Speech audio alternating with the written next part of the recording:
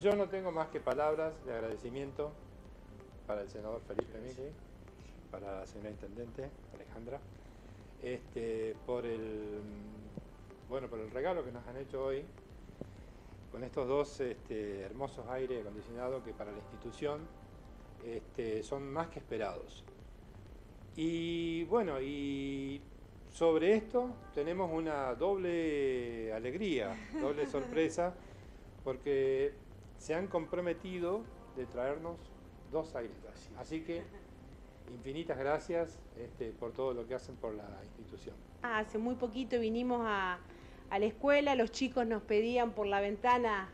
tráiganos aires, tráiganos aires, lo escuchó el senador y bueno, aquí están los aires.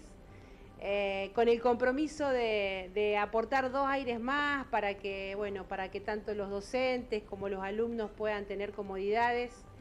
uno de los lugares donde nosotros siempre creemos que los chicos tienen que estar es en la escuela, aprendiendo, formándose, siendo mejores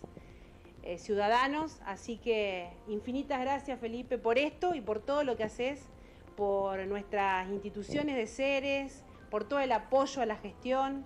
para en definitiva tener una mejor calidad de vida a todos los cerecinos. Así que nosotros también estamos muy felices por estas, eh, por estas adquisiciones y seguimos trabajando por mejorar cada una de nuestras escuelas. Aquí me recibí en el año 81, no estaba todavía este edificio,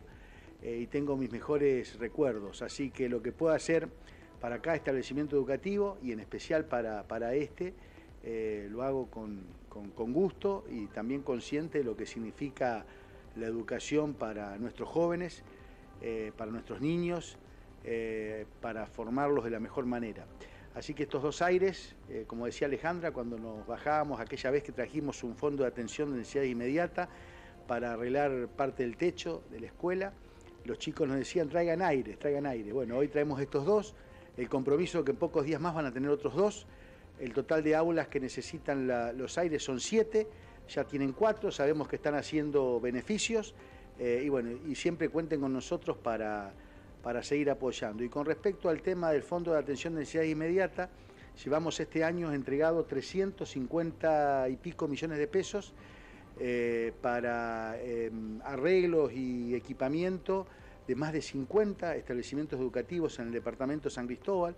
eh, una inversión importante, uno de esos FANI vino para esta escuela, estamos a disposición para seguir gestionando una vez que rindan eso para cualquier otra necesidad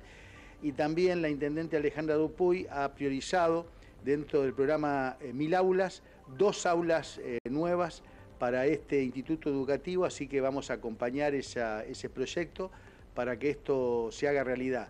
Hoy estamos construyendo 10 aulas nuevas en el departamento de San Cristóbal con una inversión de 424 millones de pesos y termino con esto. Estuve anteayer para ver la rapidez de los trámites antes de ayer en eh, Colonia Rosa, en la escuela 6097,